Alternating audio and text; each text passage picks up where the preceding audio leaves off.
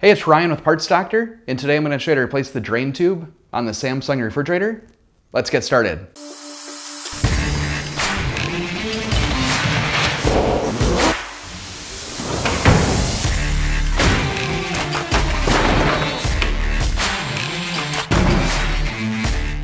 The first thing we'll need to do is get access to the back of the refrigerator. This may require unplugging the refrigerator and disconnecting the water supply. Next, we'll use a Phillips screwdriver to remove this lower panel.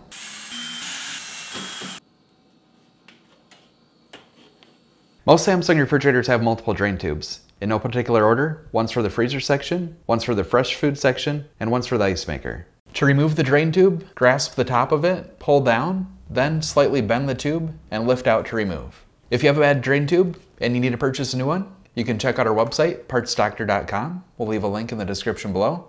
You want to make sure that you're searching with the model number from the tag on your refrigerator to make sure you got the correct part. Some refrigerators may have two different style drain tubes, so please make sure you're ordering the correct one. To install the drain tube, make sure that the bottom of the drain tube is inserted over the bottom prong. Bend the tube slightly, then push the top into place.